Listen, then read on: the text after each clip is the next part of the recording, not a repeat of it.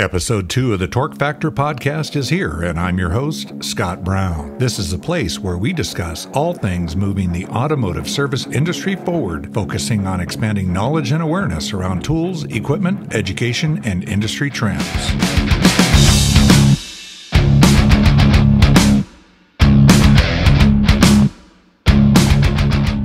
Today's featured guest is Paul Baltusis, who possesses intimate knowledge of OBD. Paul and I will take a deep dive into Ford's variable valve timing errors, mode 6, and cylinder to cylinder air fuel ratio imbalance diagnostics. And my great friend and colleague Steve Ford, who has some interesting ideas and thoughts on how to tune up the pipeline of tomorrow's technicians.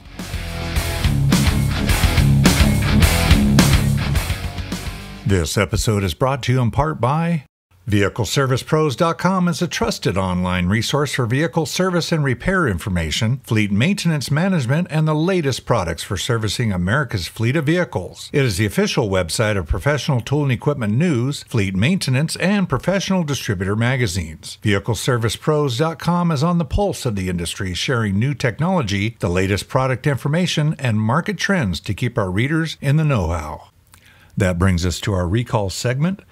First recall we have is affecting 2018 to 2019 Nissan light vehicles. Recall number 19V is in Victor 654. It covers approximately 1.2 million vehicles. The safety system involves the backup camera or rear visibility system because of a non-compliance with the Federal Motor Vehicle Safety Standards 111. Basically, what's happening here is that the user controls can allow the system to be configured in a way that prevents the rear camera view from automatically appearing when the vehicle's shift selector is placed in reverse. Owner notifications began uh, going out in November of 2019. The Federal Motor Vehicle Safety Standard 111 requires that all vehicles manufactured from May 1st, 2018 to default the rear camera view on at the beginning of each backing event, regardless of any modifications the vehicle operator may have previously selected. As always, it's a good idea to run the VIN number through the NHTSA website when vehicles pass through your facility. Next up is recall number 20 Victor 012. This affects Toyota Lexus vehicles manufactured from August 1st, 2018 through January 31st, 2019. And this potentially affects 700,000 vehicles. The issue is with failure of the in-tank electric fuel pump manufactured by Denso. In the documents that I've read thus far, Denso Engineering has discovered that the fuel pump impeller is deforming slash swelling due to excess fuel absorption. With the deformation, the impellers crack, which leads to the pump failure. As of January 7, 2020, there have been just under 2,600 warranty claims related to fuel pump failures. Toyota is working on a remedy and will begin contacting vehicle owners by March 13, 2020. Next up is a case study from Diagnostic Network, and you'll find all the information in the show notes. This is a vehicle that came into my shop, 2003 Chevrolet Corvette. Customer complaint was that the headlights uh, were on and staggered. The uh, turn signal indicators were on solid. Uh, and so we went through the vehicle, scanned uh, all the modules, found multiple DTCs and multiple modules, a lot of network communication codes, uh, some uh, electrical system malfunctioning codes. So we decided to focus on the complaint and when we went to the service information, we read up on how the headlights operate. And uh, we found power and ground explanations and found that G102 is a, is a primary ground. So I wanted to look at the wiring diagram to take a look and see if any of these other things had any relationship to G102 uh, related to those DTCs. And what I found is that G102 is connected to a splice pack that has numerous circuits, including headlight doors, uh, cooling fans, uh, AC compressor clutch, other lighting systems. So, uh, went to the service information to find out where G102 is located, and we found it on top of the uh, right uh, frame rail, just behind the headlight. and uh, you could see that the nut was a, a little looked like it was a little corroded. So we connected a voltmeter from battery negative to uh, back probing that actual ground circuit. And with everything powered up and operating, we were able to wiggle it and see a voltage differential of about three volts at times. So we knew we had a voltage drop. Took it apart, cleaned all the connections, put some star washers on it, reassembled, cleared all the codes, re enabled everything, and ran the voltage drop test and we got it down to, to nothing basically. So I hope this case study is helpful in folks understanding how important voltage drop testing is. That brings us to our featured guest, Mr. Paul Baltusis. He and I sat down and had a long conversation about diagnostics. So let's have a listen. You've been with Ford Motor Company for 38 years, and you recently retired, and uh, you're now running a, uh, a company called OBD Advisor. Is that correct? Yep, that's correct. And so, tell me a little bit about what you're uh, what you're doing. You, you, don't have to disclose who you're working for, but you know what are, what are you actually doing, and uh, are you having fun doing it?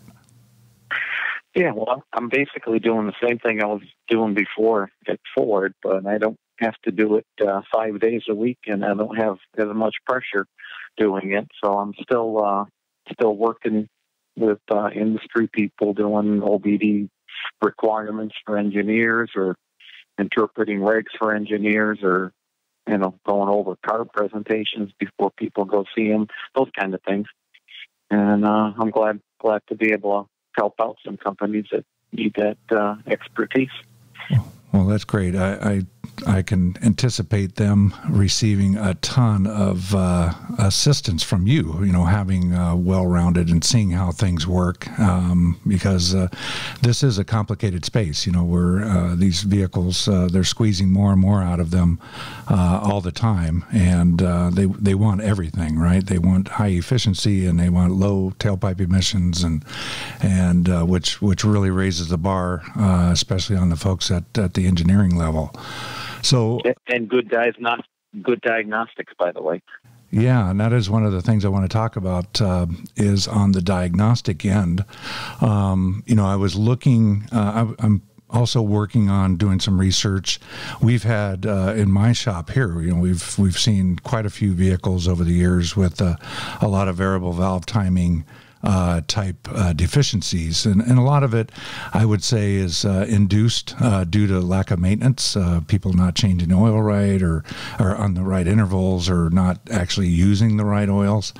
But one of the things that, that we like to do um, on cars is, is you know, we, we try to pull a health check and do a full scan on the vehicle. And, and one of the, the features there is mode six. And um, looking at mode six and pulling that data on some of these vehicles, I think that uh, some can take that data and, and do a little prognos- prognostics on that by looking at the the values and look and comparing them to the uh, the min max values that's that's allowed. And and is that an accurate statement? Well, that that is what Mode Six is designed to do. It's the you know it's it's the answer that the monitor provides against whatever the the min max thresholds are. Um, the, the difficulty with using Mode 6 is that without a lot of background information, you don't know if it's a if it's a linear kind of thing or or if it's not linear. Uh, for example, catalyst monitor tends to be nonlinear, so everything goes good, good, good, good, and all of a sudden it goes goes bad quite quite quickly. Uh, there's you know, there's other Mode 6 data that I think is, is very useful. I, I think people have always found the, the Mode 6 data from misfire to be very useful because it gives you, you know, gives you real time counts of misfires and you can, you can look and see how they come and go on, on various cylinders. So I think it depends quite a bit on the monitor how useful the information is. Um, and without necessarily a whole lot of engineering explanation, it may in fact be difficult to interpret, but uh, that is not to say that it can't be useful for people that have seen enough of it over the years to make some sense out of it. Okay. Yeah. So, so on on to my the variable valve timing. That's that's one that I was really trying to focus on to try to understand what uh, what I'm actually looking at. And I was looking at a 2012 uh, model year, and I was looking at the uh, the OBD operational summary that that that Ford provides for free for anybody uh, out there on their website. And and I think I can probably think we we can thank you for probably pushing that initiative because I know that you were actually responsible for doing a lot of the editing or setting up the framework for those documents. And uh, very, very good, useful information. But in, at some level, there's some that uh, some of that data is a little um, out there as far as uh, for the non-engineer type. And so one of the things that I was reading is uh, that it, when they had the uh, they described the typical VCT monitor malfunction threshold, they basically you know they're looking for open and short in the in the driver circuit, but they're also looking for misalignment um, or error, target error, response target error, and that's the part that I wanted to talk about a little bit about here. So you know they had, they describe it here as VCT over advanced variance too high, and then they go on to say the range is 40 to 700 degrees squared, and so that's the part I'm thinking, what what in the heck is 40 to 700 degrees squared? So what can you explain on that? Okay, so the VCT timing is is it's a variance. It's looking at um, you know it's looking at VCT error. So the the control system always has some target for the cam, either the intake or the exhaust or both or whatever. And then the way the controller works is uh, it looks at an error term, it calculates an error, and it tries to to catch up. It tries to to, to get the error to be zero. So if you're looking at and basically, if you have any kind of a closed loop control system, you can kind of use the error term as an OBD diagnostic. That's uh, that's what you do on variable cam timing. Fuel, you know, fuel delivery is kind of the same thing. Uh, adaptive fuel does the same thing. You've got a closed loop controller that, that tries to learn errors, and if the error gets too big, you know, you you, you turn on the mill for for fuel monitor. So so this is is really no different. Now the problem with simply looking at an error term in degrees. So if I'm asking for a certain amount of advance and I'm, you know, I'm missing it by 10 degrees or, or five degrees or whatever, it, that system's always, it's dynamic. It's always working. So there's always some error in it and you don't want a diagnostic that simply accumulates error. Right? Because if, if you had a little bit of error going on all the time, which you're always going to have in, in that type of a system, eventually the error is going to add up to a large number and you're going to turn on the mill. So one technique for for dealing with that is, is looking at the variance and the way you, you look at that is, is you square it. And when you square the, the error term, you get a couple of benefits from it. First of all, you can look at an absolute value. When you square it, the you know, the negative and the positive numbers cancel out because squared numbers always become positive. So it doesn't it doesn't really care which side the error is occurring. And then the other thing is that it, it takes small errors and kind of minimizes them, and it takes large errors and it accentuates them. So if you if you can think about if I had a 0.1 degree error, 0.1 times 0.1 is even a smaller number. But if I had a 10 degree error, 10 times 10 is, is 100.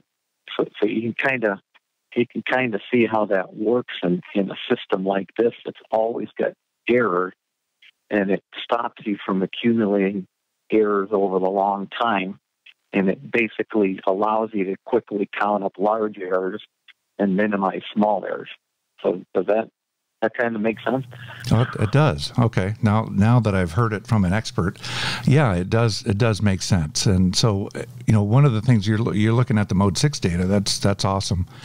Looking at the tool um, on the scan tool part, you can pull up the uh, the error PID that does the, uh, the the desired minus the actual, and it kind of gives you a it gives you you can go to the histogram mode, which I found very useful in watching that error chase itself, and then ultimately come to come back to zero. So, understanding now that that is a closed loop it's like a PID controller, right? It's trying to find out where what it needs to do to get to where it, where it wants to be. Is that accurate? Right. Yeah. Yep. That's okay. exactly right. Yeah. So okay. Well, that's awesome. Um, yeah. So that definitely helps a lot. So, um, but when you pull that up and you look at the error, so you're seeing what the recent error was, or will it will it say that um, if you're looking at the, the mode six data and you see like 0.7 in one cell and you see 1.4 in another cell, is that telling you that its its its average error is 1.4 degrees? Okay, so so the VCT monitor is kind of an interesting monitor. The way the CARB regulations read is that you're supposed to look at target error and slow response. Those are the two criteria that you use, but in in real life, those are kind of interchangeable. I mean, when when you induce an error, I mean, a, a target error is just a really, really slow response if you want to look at it that way, because everything's dynamic. So as you're driving along, the, the cam timing is always changing, and there's really no such thing as a as a long term error because your target's going to change every time you accelerate or tip out or whatever. So you know, from a control system standpoint, it, it's always just looking at error, even though the CARB regulation says I want to find target error and I want to find slow response. So what happens is when you induce these errors, it depends on how you drive the car, how much error you're going to get. So you have to make a determination at some point in time that, that says, I've exercised the system enough such that if I had an error, I would have found it by now. And that's that's just when, that's a determination of when the monitor completes. You know, so for, so for some monitors like Catalyst monitor, it's real easy to know when the monitor completes. You, know, you collect enough data to decide if the catalyst is good or bad. And when you collect that data, you know, you, you get a determination at the end of that that says, yep, it was good or nope, it wasn't. So for, for these type of monitors that continuously monitor, you have to make that determination on the fly based on some criteria. So, you know, Ford's got some criteria that says I've done enough monitoring, I've seen enough uh, requested cam excursions. You kind of sum up, you know, the the excursions that that the cam's been asked to do over time, and if you've done enough of them, then you can say at the end of that time period that I've either passed or failed the monitor. So when you pass or fail the monitor, that's when the mode six data is written. Okay. Now that monitor just keeps on it keeps on monitoring, mm-hmm. but you got to make some artificial determination from a CARB standpoint, from a mode six standpoint. You've got to make this determination that the monitor completed. So it's it's it's kind of artificial. It's it's the answer at the time you decided that the monitor was either good or bad. And that's what's stored in, in mode six. Now you, you could make another determination later, you know, because that monitor continues.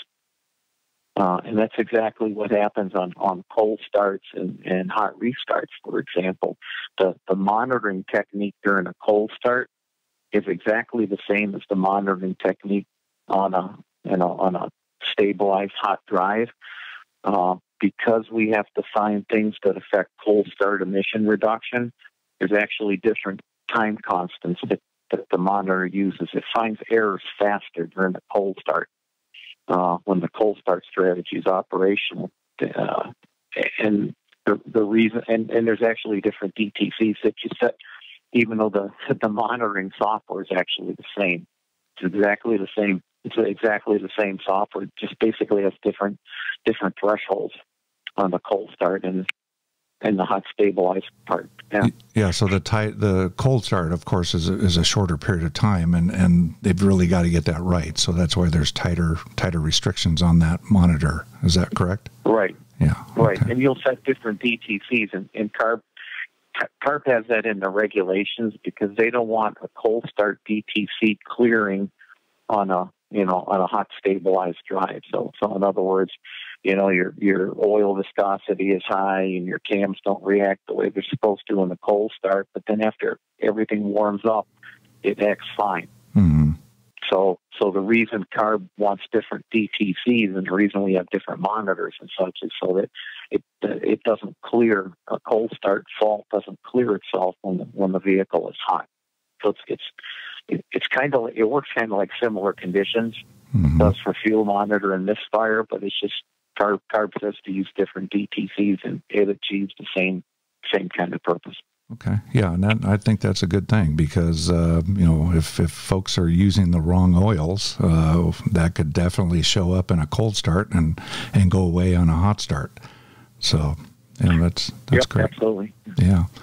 Um, so one of the other uh, one of the other monitors I, I wanted to also ask about is one that was I don't know what when it came about, but maybe you can tell me.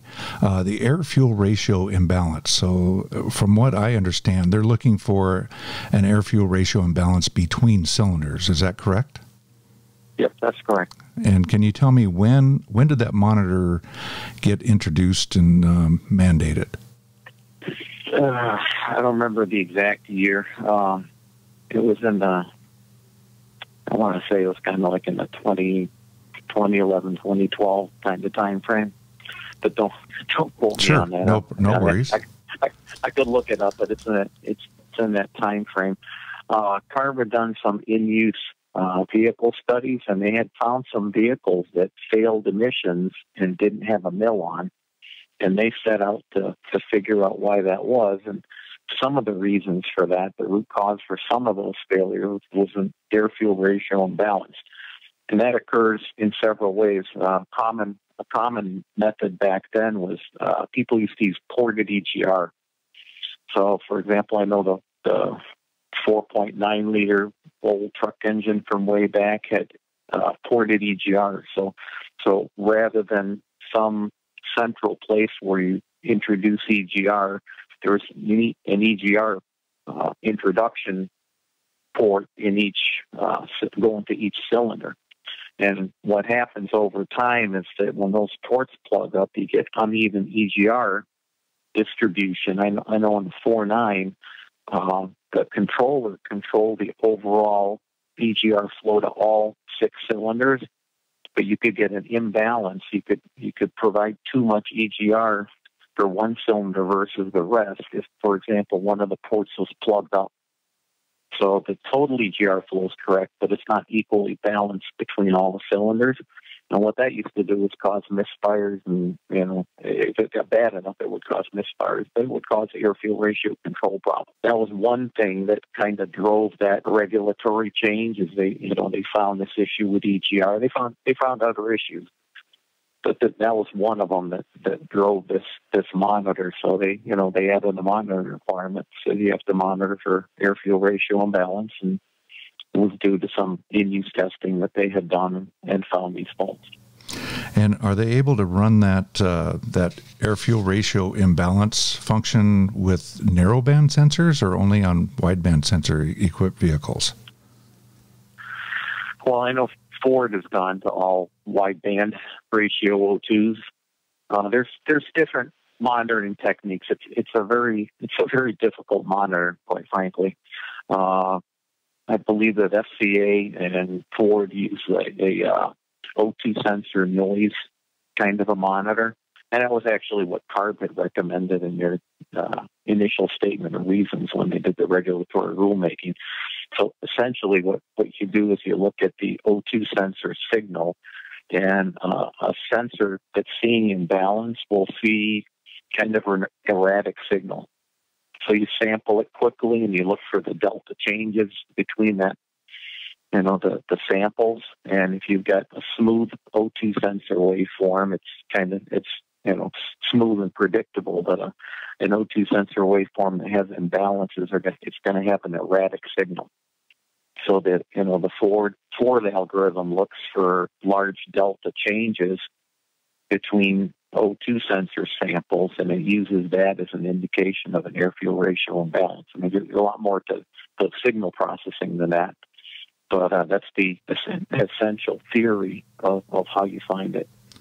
So yeah, it's looking for the hash, hashy or noise yep. on that uh, actual sensor. Okay. Yeah, awesome. a lot of people call it O2 sensor hash, but it's it's basically it's the noise in the in the signal. thank you, Paul, for uh, for putting up with me and uh, joining me on this call. And uh, I hope to talk to you soon. Okay, no problem. Thanks very much. Okay, that brings us to our education segment. And we're picking back up on a conversation I had with uh, my great friend and colleague, Steve Ford, about solutions for connecting with the next generation and a number of outside the box ideas. So have a listen.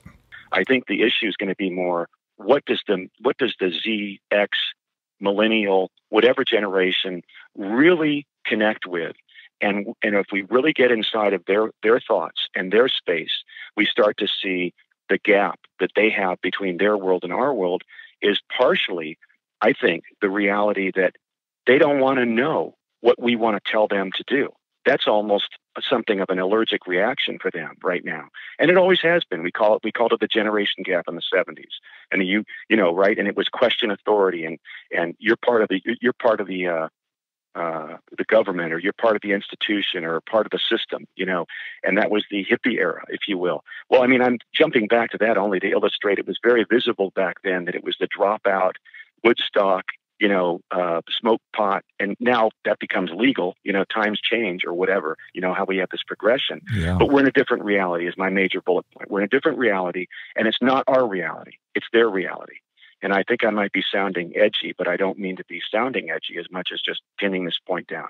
Point one the greatest thought I could conceive is that it's not about us, it's about them.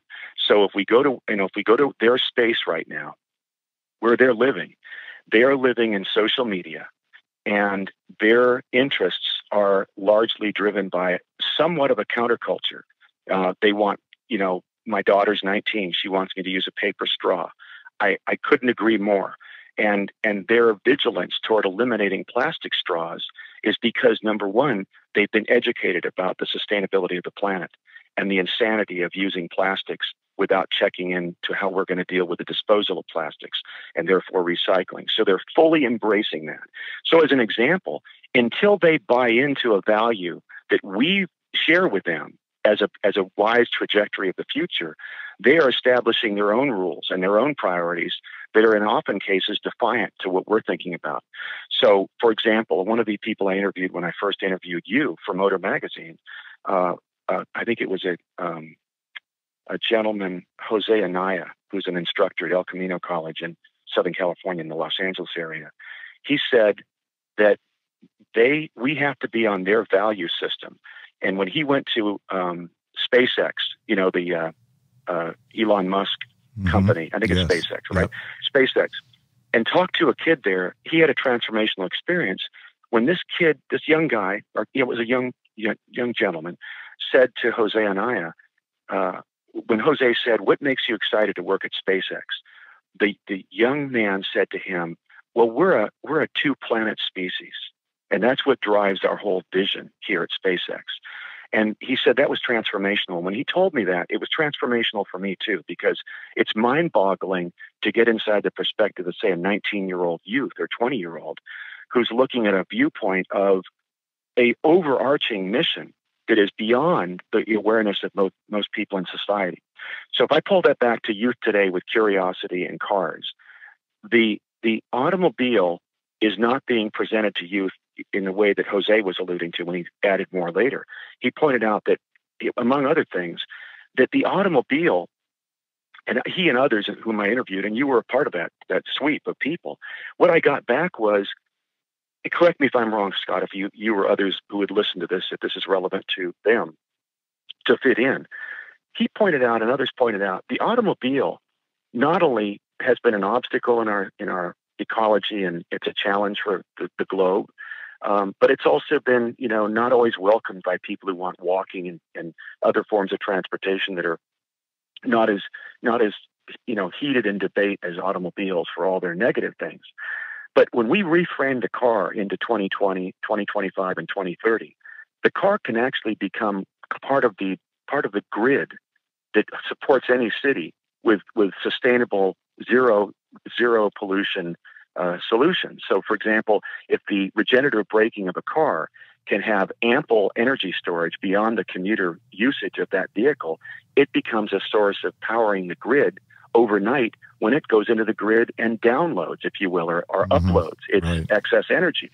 And suddenly, kids seeing that might realize wait a minute, I could not only drive guilt free, but I could end up sending benefit to my community when I plug in at night. Well, that kind of transformational viewpoint is what youth today doesn't envision necessarily. But when I've talked to kids at high schools I've spoken to as a volunteer speaker for our industry to motivate them and enlighten them about our industry, they they say that you know to the extent that they're excited about working in the industry, it's because they are looking at being a part of helping make the automobile the best it can be in the 21st century. Well, that would drive our current 20th century approach to be, yeah, we need to weave messaging into the audiences today in our national campaigns to let youth know that cars are cool and they're going to be better in the future years. Well, that still doesn't bridge the gap between that message and where does a kid get on, on, on this train? Where do they go on the board? Which brings me to my second point. The first point would be we need to really move ourselves into their value base and their priorities. And their priorities are immune to our, our messaging, our advertising, our speeches, our campaigns, unless we get to them on another level, which is the second level, not in a second priority, but probably a, you know an equal priority. We need people across the nation, like you and me, and everybody who's like us, to move from forming committees into taking immediate action in any ways we can in our communities. So now that's always, and I shouldn't say always, the 20th century approach that I've heard too many times, and I I value, but I think it's a it's a it's a it, it's an incomplete approach. We've said join your local advisory committee at your local high school. Well, that's that's too little too late. I'm not saying it's wrong to do. It's absolutely, we should have been doing it from the 60s to the 70s to the 80s to the 90s.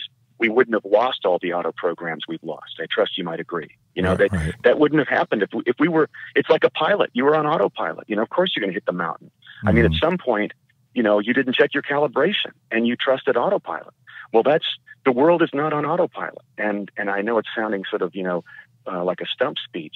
But I'm sorry, change is inevitable, and we need to be there at the table. And when education policymakers made decisions, we weren't at the table. Well, now the auto industry is not at the table unless we go beyond advisory councils. Showing up for a pizza dinner, looking over the curriculum, and saying you need to include more about, you know, diagnostics and using lab scopes, and throw out your teaching about float levels and carburetors.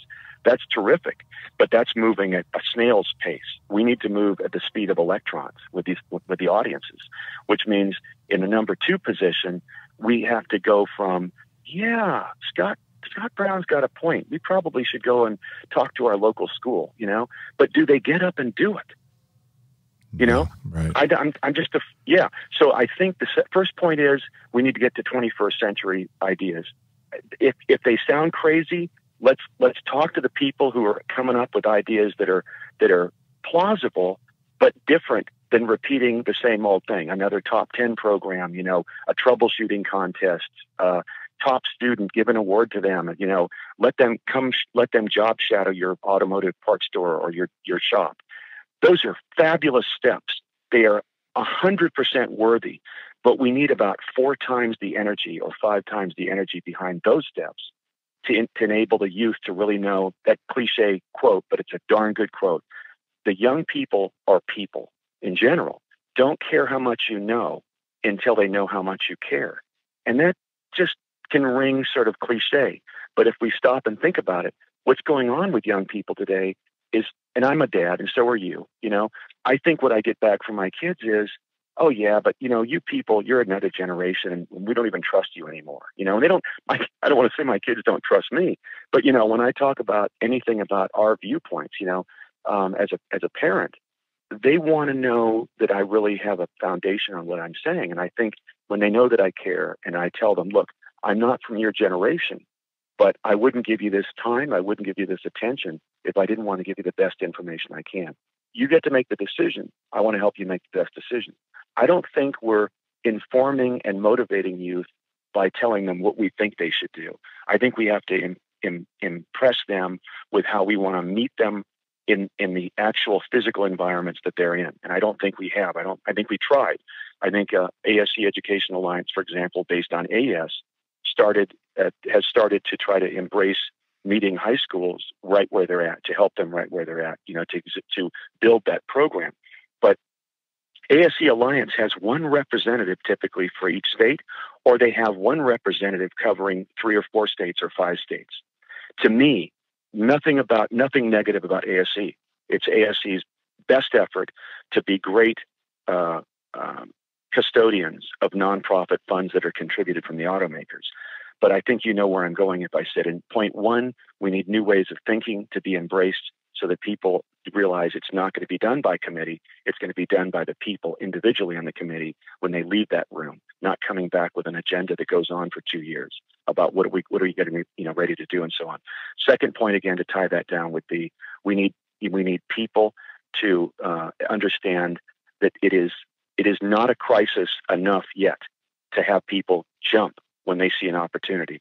But from my viewpoint, Scott, I think you you would know my heart on this. It's a passion because I recognize that unless we help others realize, of course, it's not a visible crisis yet today at the level that people have said it's going to become, because people are moving a little bit and they're comfortable moving a little bit. My concern is for every one person that's moving today, I think we need three more tomorrow, not next month, not next year, because the speed of the decline of the available auto instructors, the available auto programs, the available funding for public education were beyond the finger pointing of, you know, education shouldn't have closed shops. I certainly would want to agree with that. But I think people thought they were doing uh, evidently the right thing. Somehow they were led to believe in order for global competitiveness, we need to increase emphasis on math and academics, and that cuts down on available time for electives. Well, electives are where kids use crayons and blocks and build nothing and draw nothing but what they want to draw until they decide now they're experimenting with this stuff and they turn into a specific thing they want to build or a specific thing they want to draw. But they have to start with the crayons. And you know what I mean on that. It's the mm-hmm. idea of experimentation. Yeah. We're not giving kids that. So so I say point two would be we start coming into car shows. We start going to um, car clubs. We start taking the people who are involved in the car culture and connecting them with the auto industry, whether it's dealerships, independent shops, what have you. I think those two points would lead to a third, which is we ultimately have to have some collaboration among ourselves with the other skilled trades. And that would look like, hey, we're we're all in this competing with each other, just as you would do back when we had um, what was that dear man you and I talked about, Jack Hyler, you know, who was old wrench, yep. you know, with the SAE's Service Technician Society and Mark Warren and all those things we've laughed about, you know, with the with the great networks.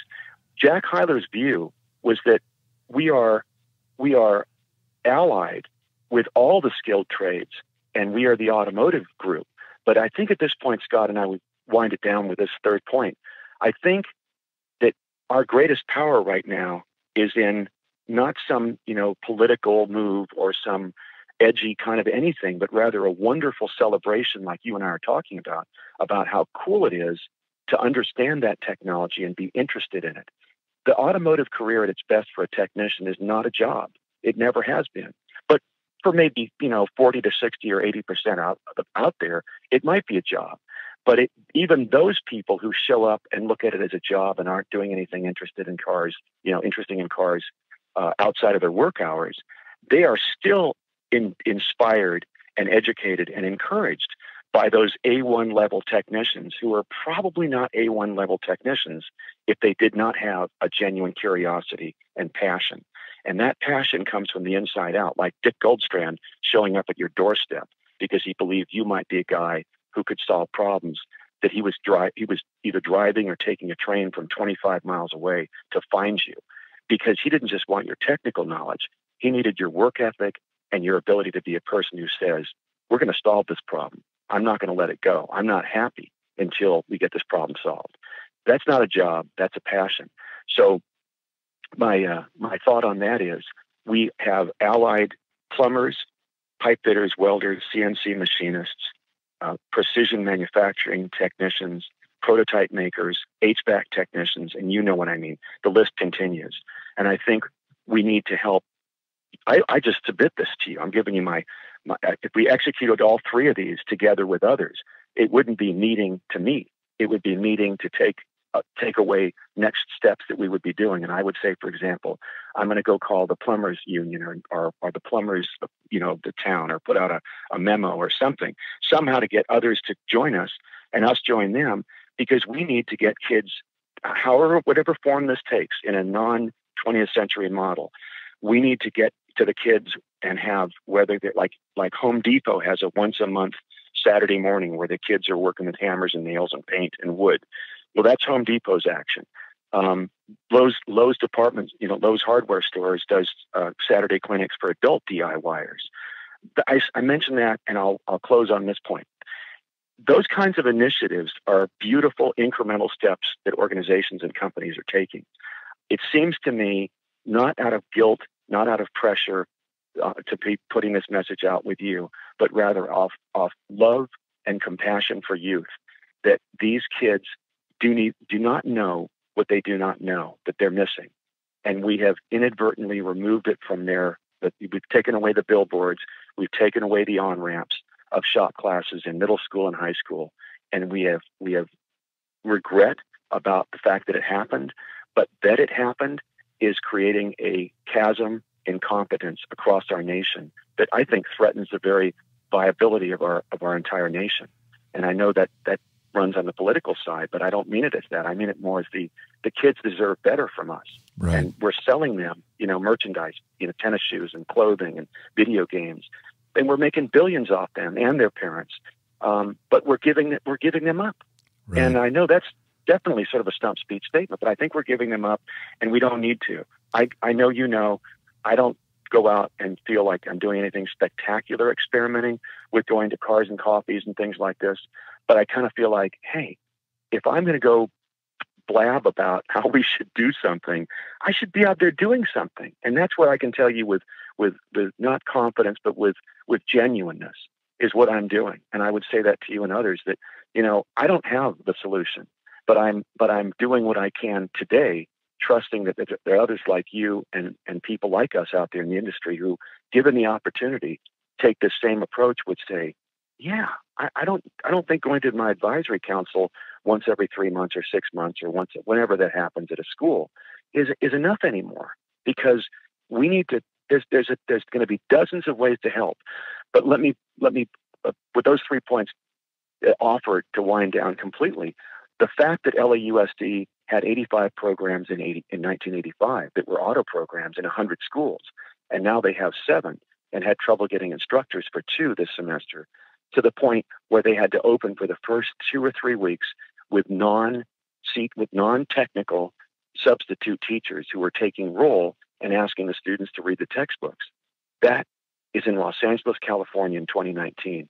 If I told you that in 1985, you would say I've been reading, you know, um, Ray Bradbury, uh, The Martian Chronicles too many times. You know, it's too too bizarre to think in Los Angeles, California, with with the incredible reliance on individual automobile transportation, we have gotten to the point where we only have five viable auto programs with two desperate substitutes waiting for the administrators to be able to find somebody to teach the class. We've shut off the pipe to develop auto teachers. And so even if we succeed, here's the kicker in the close, the ultimate close. Even if we succeed with all these 12 or 15 committees across the country right now, with all the associations and nonprofits that are that are promoting our industry. I think the scariest thing I can say that makes me want people want people to move is even if we succeed, we we do not have preparation right now for the second wave, and I don't know if other people are missing this. If we get all the people interested, we don't have the ability to even respond to them right now, unless we get a mobilization of people across the country who are going to be jumping out of their shops and making phone calls to their schools and making phone calls to each other not to join a committee, but to join a program of reaching out to youth and doing a Saturday program or doing a weeknight program or some kind of an after school volunteer program that might have stipends or might have contributing components from all the OEMs and the aftermarket companies in a massive movement that, that unfolds in 2020, not in 2023 or 2025. Yeah, I agree, uh, and so thank you for uh, that that huge download there. So um, you, you, had a number of points there to uh, to touch on, and of course we're going to have to uh, we can expand on, on those. But yeah, it's uh, it it is absolutely amazing that uh, we've we've been this this change has all occurred without anybody really um, awake yeah. at the wheel. Um, a couple of things right. that you said there, you know, the the counterculture, yeah, uh, they're they're just basically there's a disconnect there, right? And and right. you can look at all the reasons why, but um, we can look at all the reasons why, but what did we learn from that? How do we how do we how do we counter yeah. that? But one of the questions I did have that that came up, you said that the gentleman that that uh, went to work for SpaceX, he said we are a two planet species. Uh, a two planet species, yeah. Yeah. So uh, explain that uh, a little further. Well, it's it's mind boggling, and it has never left me. It's probably the most profound point I heard in, in quotes. You you had some great quotes about what the technician in the future should have a suite, you know, a, a technology suite around that individual and be supported like a surgeon, you know, in the mm-hmm. future. I mean, an right. ideal world.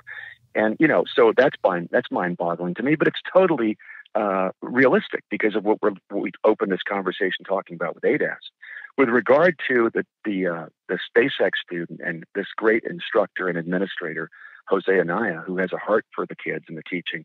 The fact that he retained that as an anecdotal thing to tell me about was an incredible gift because it's never left my mind that uh, that the youth of today have the ability to be um, to, to marvel about their role that is so critical and they are recognizing a desperation in their own in their own ranks and in their ages um, of wanting to re- look at, at the realities of the earth and international relations and society and gender and culture and all these things that are being debated. At the end of the day, the question for humanity is, you know, there's always that that ominous concern about what if and what if we don't and what have you. Well, to give these people a passion to get space exploration or space travel to move forward just to explore Mars, I think what's powerful of what Jose Anaya quoted that student saying is that that student had a ready, clarified one sentence mission that said to the to the, the listener, now you with me, we are a two planet species, is clearly saying, as I understood it, because Jose didn't expand on it, I don't think he needed to, and I respect your asking, but I wasn't there, so I'm only extrapolating from the comment that what that SpaceX team has in, ingrained in their employee psyche is a mission that is not limited by showing up for work each day. It is driven by a realization that in order for us to do that, if we're ever going to be a, a two planet species, in order for us to get there, we have to first take into consideration the reality that if we don't solve things on this planet, we may need to be on another planet in order for humanity to survive, which is a pretty heavy, ominous thing to think.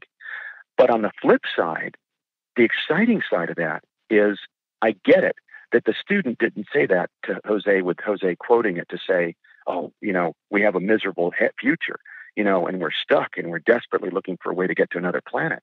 No, I think what came across was that wild, wonderful view of imagination saying we need new solutions that are in that are paradigm shifting beyond what most people are doing. We're sleepwalking on Earth if we don't think maybe we'd need another planet, and it gives us hope to even even envision shooting for that in the distant future. If we just look at trying to solve problems with the same mindset, we're going to be limited. So I think Elon Musk, you know, and all of the drama and, and highs and lows and, and, and media coverage of what he does, you know, his imagination has has been positively impacting young people at SpaceX to get them to think about big, big solutions that are so far beyond our typical conversations day to day that as I give you this quote, you'll be likely to quote it to another person. And I think that student knew. We, that student was basically saying, we live in a reality that is boundless. And that was my great friend and colleague, Steve Ford.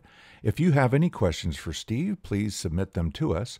We look forward to having him on the show in the future. Okay, we're talking about upcoming training events for 2020. MACS, the Mobile Air Conditioning Society, has their annual conference and trade show coming up in Nashville, Tennessee, February 19th through 22nd, 2020. For more info, visit macsw.org.